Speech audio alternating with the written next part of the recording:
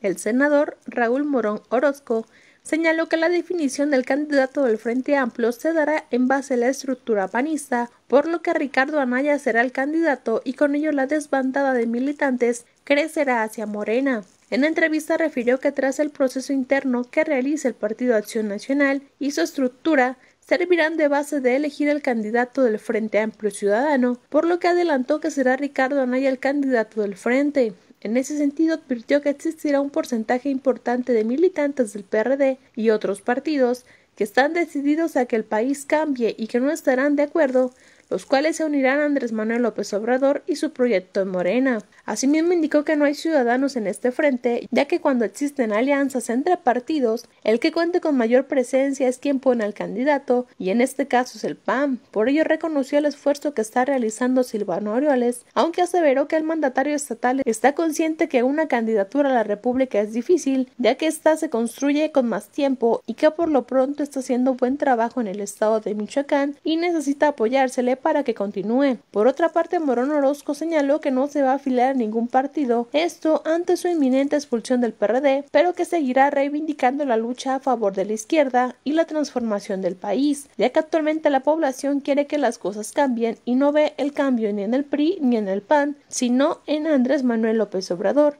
Jessica Aguirre, respuesta